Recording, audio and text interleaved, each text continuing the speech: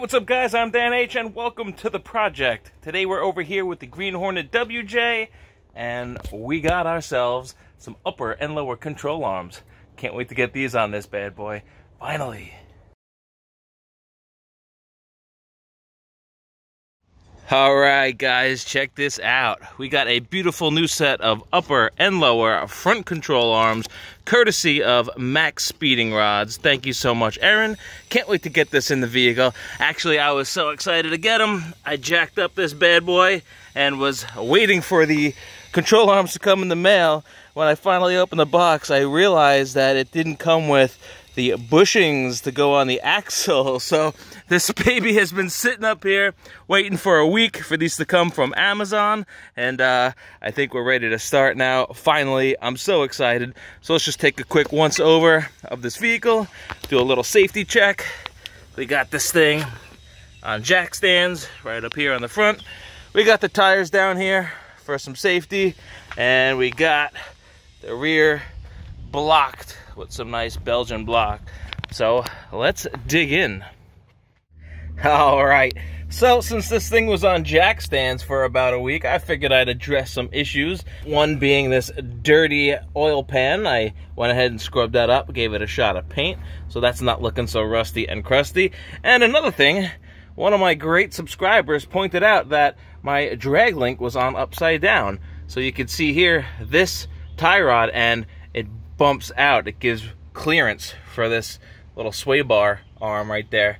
This uh, this thing was hit multiple times. That's how bad it was. Um, you want this down here. This gives you clearance. This bumps out. And I actually had to replace this tie rod up here. Um, when I took this down, the uh, the threads were stripped on that ball joint up there. So this is a new upper tie rod that goes to the pitman arm. Again, we got our old drag link reinstalled the right way. And uh, I put cotter pins on because the castle nuts didn't have cotter pins. So we are good to go now. This is nice and tight, nice and sturdy, and our steering wheel is straight. Congratulations to me, I got new control arms. So, I'm thinking I'm gonna go about this. I'm gonna do the driver top, then I'll do the driver lower, then maybe I'll do the passenger upper, and then passenger lower. I'm not sure. I don't know the correct order. I've never done WJ control arms yet. Um, so I'm thinking I'll just give that a shot. Uh, what could go wrong, right? I'm in a jet. What could go wrong? Famous last words. I just jinxed the day. Great. Okay, I'm curious to see if getting the sway bar end link will be able to drop this front end a little more, give me a little bit more room to work with. So I got my Motivx wobble right there. Thank you, Chris Watson. Hit up Chris Watson for all your Motivx tool needs. He is the man. And here we go, 15 millimeter in the front, 18 in the back. There we go. A little more room. Pretty cool. You know what? Maybe we could even wiggle this spring out. Some more room for that bolt right back there. Yeah. Let's do it. Hey. Sweet. I am really glad I took that off because now you guys can get a front row seat at the action and I'm gonna work where that spring was. So I got my T50 impact bit right here on my big dog DeWalt. I got the 15 millimeter wrench right on there. Let's give this a hit, see if this comes out.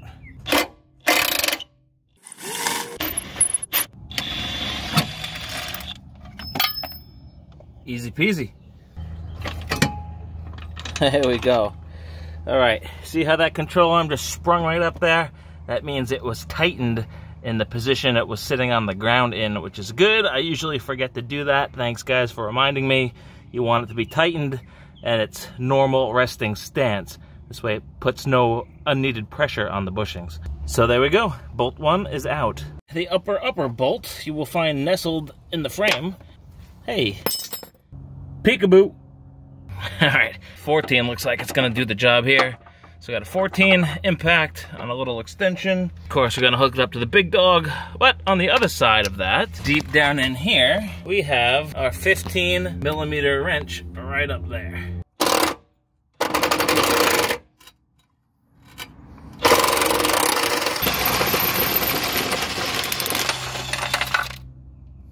Ah, man. Come on. Oh. Magnet. Down in a hole. Got him. I got time. Got him. Look at this funky bolt. There it is. Ugh. Breather line's attached. Come on. Ugh. Look at this, guys. Nice rip right up here. Can these bushings cause death wobble? You better believe it. Nice tear in there. Also, I'd say these are pretty worn. If I could wiggle it like this with my hand, the Jeep front end could wiggle it too. All right, next thing we're gonna do is zap out this crusty old bushing, replace it with a nice new bushing. Now I got these on Amazon. I got this link from my buddy Doug at D&E in the Garage. Thank you, buddy. He came through with this link. I had to order these because I went to the auto parts store and good old AutoZone gave me rear bushings. They're not the same. Make sure you get the right ones. Hence, a week later. But what are you gonna do? So, thank you again, Doug. All right, I'm gonna work this thing in the old air hammer. Got the chisel tool on here. This thing comes in handy, especially to pop out broken shock bolts on your XJs. And the last time I used this thing was to get the good old rim off this bad boy. I had to cut a rim off. Love the air hammer, so I highly recommend it. Okay, here we go.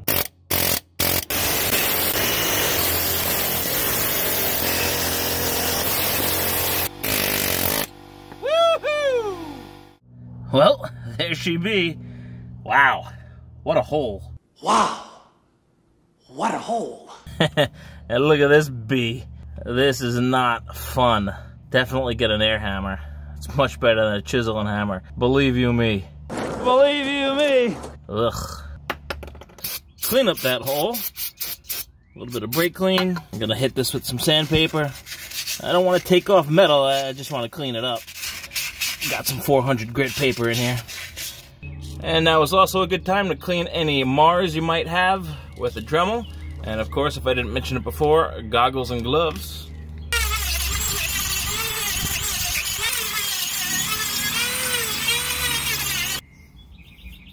There we go. Gonna want it smooth to the naked touch. Gave this little bushing a nice little shine. Help it slide in there a little better. All right, here we go. One, two. I wish it was that easy. Nope, these things are usually a pain, and you gotta press them in. So I'm gonna use a ball joint press, but I'm gonna get a little grease on this thing, help it slide in a little easier.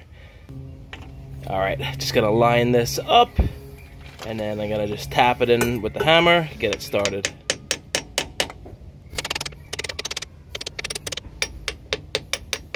Yeah, no, uh, it doesn't want to go in. All right, let me just see if I could press this thing in. This is so awkward. It's so heavy, and there's no room. Ugh, come on. What a pain. What a pain. The bushing refuses to go in, so benchtop grinder. Gotta give this thing a little bevel, or a chamfer.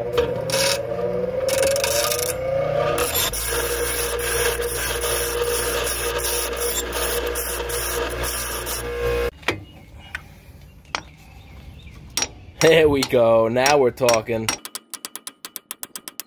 This thing's going in. WD-40. How's it going? This thing's kicking my ass. Can I get you anything? A cold beer? Ice cold beer.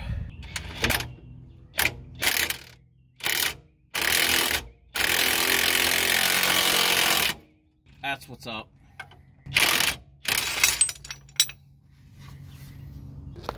Oh, yeah. Guess all I needed was a little bevel edge. Hey, there she is, guys. Nice and flush, just like the original one was. Now we're just gonna go ahead and pick ourselves an upper control arm. All right, in order to make this a complete factory swap, I had to go ahead and drill myself a 3 16 hole for this little clip on that vent tube. So went ahead, drilled that in, trusty drill bit, got my hole, and I popped her in. All right, let's put this on. All right, here we go. Let's get this control arm in. Gonna wiggle this right up here where it belongs. I'm looking right through the hole. I can see it's lining up. Go ahead and punch this thing right through. Now I gotta get my little flag nut. Where did it go? It's way down here. There we go. I'll reach across. Da-da-da-da. Can hand tighten this right now. Now what I'm gonna do is I'm gonna pretend the control arm is in its up position. I'm gonna tighten it down up here.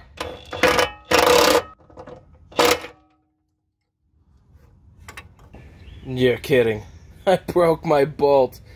Jeep my life. Well, got this broken WJ control arm bolt, and I found an XJ upper control arm flag bolt. So I popped this off right here. Gonna go ahead and take off the nut for this one. And now what we're left is something very similar. Look at this, guys. So I'm about to turn an XJ upper control arm bolt into a WJ upper control arm bolt. All I gotta do is swap this giant chunk of steel. There we go. There is our bolt to be. Got some nice beveled edges and uh, let's weld her up. Yeah, you know, that's about a solid D minus, but it's just still a passing grade.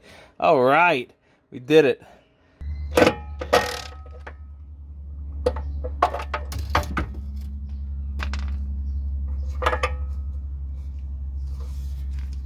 There we go, guys. World's first XJ part on the WJ. You've seen it all right here on the project. All right, so since we tightened the upper control arm in the up position, I'm thinking we'll just have to jack up the axle a little bit. Then we could bring down the control arm to meet its hole. I was able to get a screwdriver in there, and then I jacked it up, and it looks pretty squared up now. I'm gonna try to slide the screwdriver out and punch in my bolt at the same time, thus filling the gap and getting this right where I need it to be.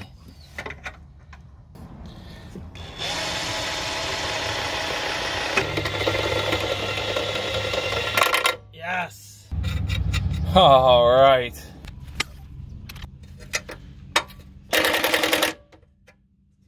Beautiful. Well, goodness, I really hope the top ones are the hardest. I'm guessing they are because I had to replace the bushings. But now on to the lower and driver side because I'm staying on this side. So here we go, 21 millimeter on inside and out.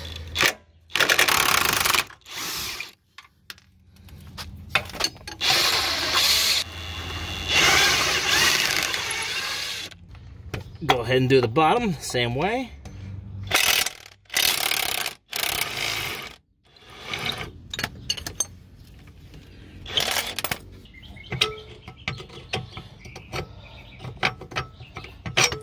While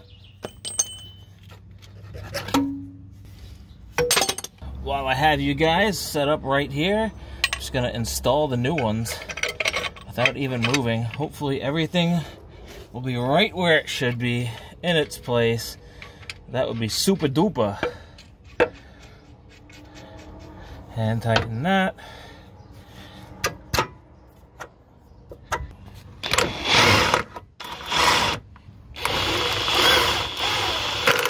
There we go. Nut. All right, so just like the upper arm, I'm gonna jack up the lower arm to pretend that it's in its normal ride height. Right there. Good. Now I'm gonna tighten it up so I don't stress the bushings.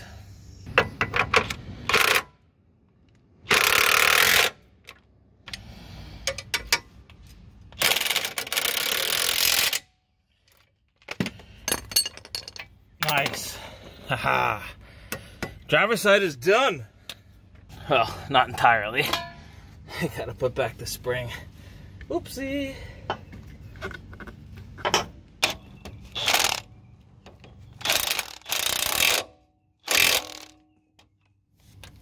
Whew, man, I'm smoked. I'm only halfway done. Oh, time for the passenger side.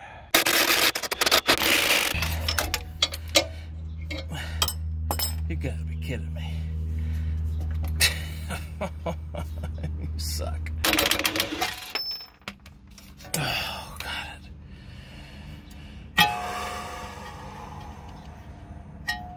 Wowee.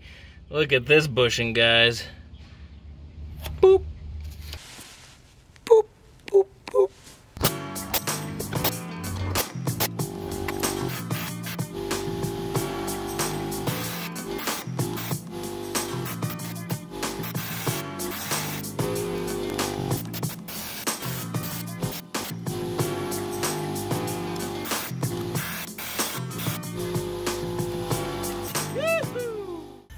All right, get a load of this contraption.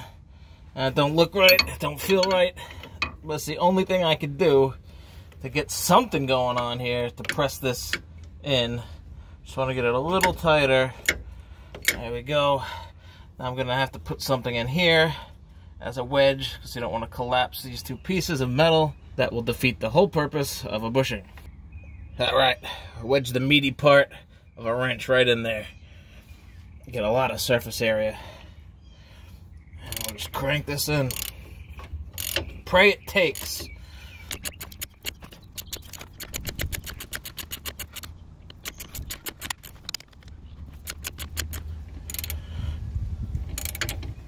I think she's in. Hey. Nice. Now that's a bushing. Woo!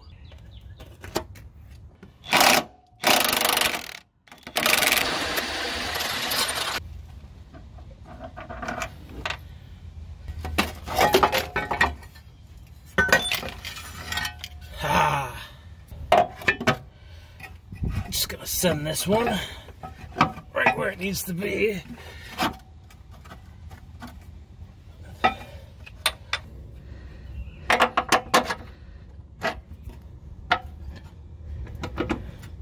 All right, putting that flag nut on the bolt, semi-blind. I can feel it. There we go. All right, let's get this back on. All right, let's push this control arm up. We'll tighten it in the up position. Very nice. Ugh, Not gonna break this one. Haha. Broken nail though. All right, thanks to the help of this ratchet strap, keeping this thing to the passenger side, and this old come along here got from my father when he helped me fix my Mustang that I smacked up back in 2004. Thank you, Daddy. Thank you, Daddy. I was able to get this bolt halfway in. Still got some more to play with. It's not quite lined up in there, but we will get it. I know it.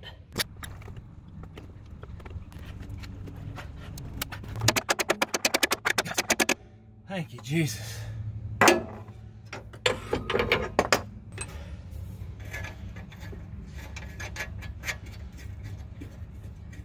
All right, I'm gonna try something. Well, everything's still jacked, ratcheted, and come along together. I'm just gonna go for it. See if I can get these control arms off without this thing shifting on me. Probably not, but I'll try.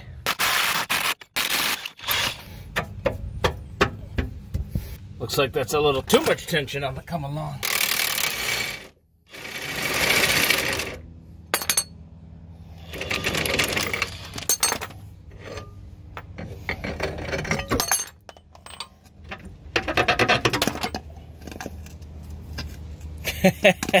uh, I love seeing this. Just totally justifies the job. All right, this one, musical Jeep. This one's gonna go in the same way it came out. Easy peasy, lemon squeezy. And now we gotta release this come along a lot.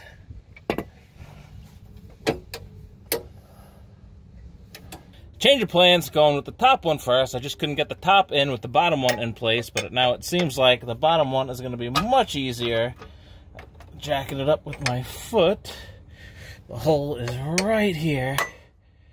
Little tappy. Little tappy. There we go.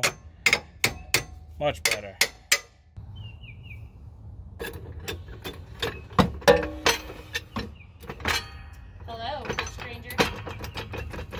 Hey. What happened to being done? you just gave me good luck. Friggin' got it. All right, we did it, guys. All the bolts are in, finally. Yahoo! All we gotta do is put the nuts on, then we can tighten them right up because I already jacked up the suspension to simulate its ride height.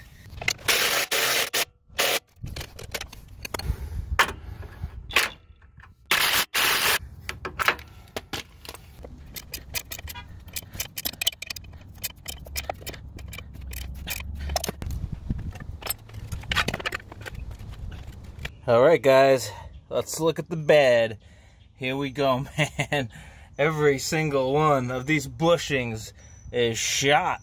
It's just garbage beyond belief. So I'm really glad I did this project. Thank you so much, MaXpeedingRods. Really appreciate the control arms. Now let's get this thing on the ground and rolling.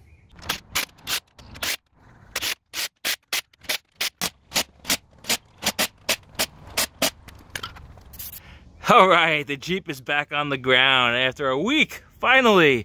And just so you guys know, here are all the tools I use for this job. There you go, laid out nice and neat for you. Yeah, my goodness. And this is at least a three or four beer project. Let's go for a ride. Wait, yeah, the beers are burnt off by now. We're good.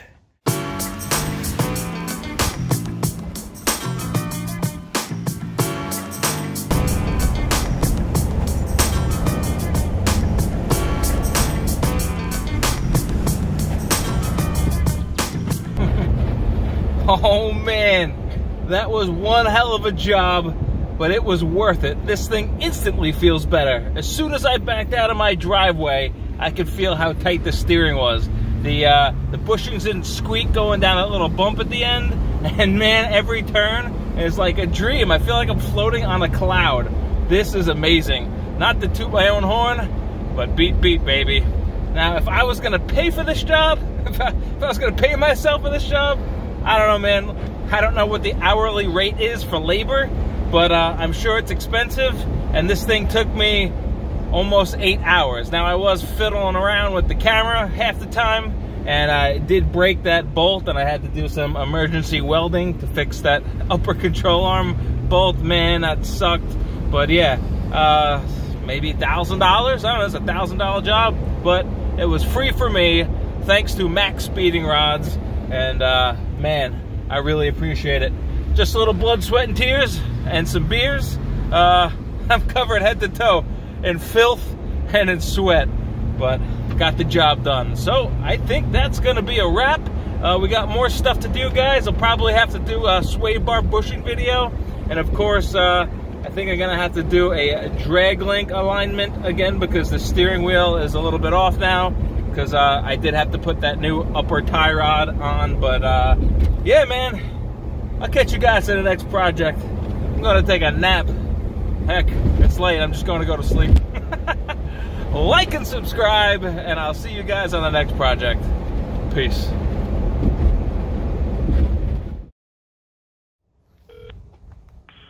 Thank you for calling.